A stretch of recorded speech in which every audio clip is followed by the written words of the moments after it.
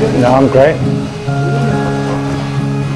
What do you think, Max? What? You like the haircut? I love the haircut.